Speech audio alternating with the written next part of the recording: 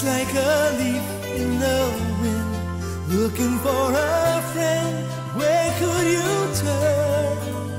Oh, you spoke the words of a prayer, and you found him there.